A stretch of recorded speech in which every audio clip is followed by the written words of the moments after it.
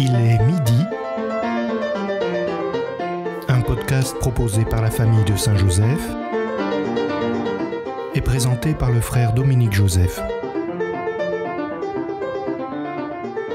Les perfections de Saint-Joseph sont nombreuses, on ne les médite pas assez même quand on aime Saint Joseph, même quand on a une dévotion pour lui, je crois qu'on se euh, limite assez facilement à dire oh il avait le cœur chaste, oh il était grand, un grand saint, et puis voilà. On ne sait pas très bien ce qui fait sa grandeur.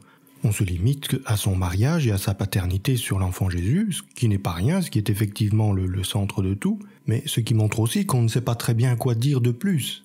Vous le savez, la tradition de la dévotion à Saint Joseph nous donne de nombreux textes de grands saints, de nombreuses méditations sur les perfections de Joseph, à commencer par sa pureté par exemple. Quand on dit Joseph terreur des démons, on ne fait pas référence un exorcisme. Hein. Pour nous, la terreur des démons, euh, c'est Padre Pio ou des gens qui ont autorité pour chasser les démons. Saint Joseph n'a pas vécu cela, en tout cas pas à notre connaissance.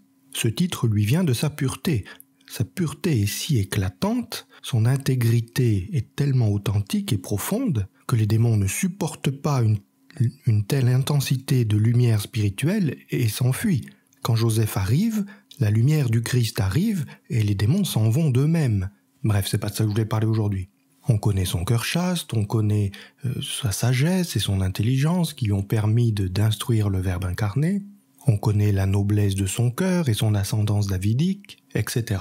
Eh bien, il me semble que si on prenait le temps de faire la liste de toutes ces vertus et de les étudier les unes par rapport aux autres, on verrait facilement que le fondement est l'humilité de Saint Joseph.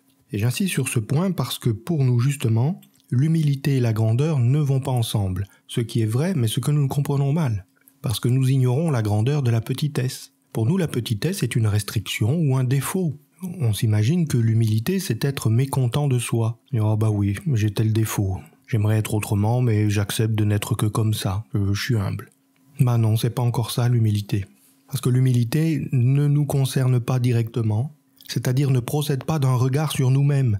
L'humilité ne procède pas d'un regard sur soi, elle est la capacité à voir Dieu comme il est.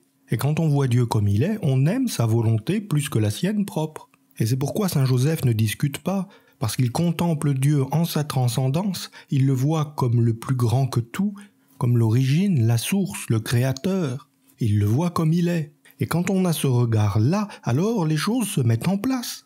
Car l'amour de sa volonté nous donne aussi l'intelligence de sa volonté, la compréhension de ses desseins, pour autant qu'un esprit humain puisse les pénétrer. Ce qui veut dire que plus on perçoit l'abîme qui sépare l'homme de Dieu, plus on est humble. Plus on est humble, plus on devient intelligent du mystère de Dieu, plus on aime la volonté de Dieu, plus on est grand en sainteté.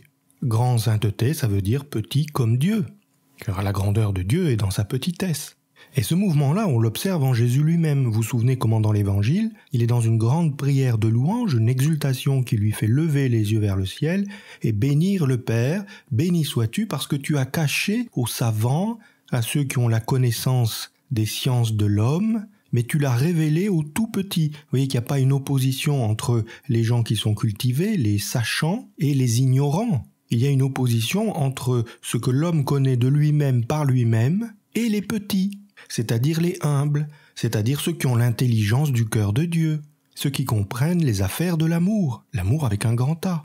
Donc quand on dit Joseph est juste, on dit Joseph est intelligent, la justice, la sagesse, l'intelligence, c'est la même notion biblique mais on définit Joseph comme étant un homme humble. En ce mercredi, demandons-lui de nous apprendre à regarder Jésus comme il le regardait, c'est-à-dire à voir Dieu tel qu'il est. Nous grandirons alors dans l'humilité qui est celle de Joseph et qui est celle de Marie aussi, car frères et sœurs, il est midi. Regina Celi letare.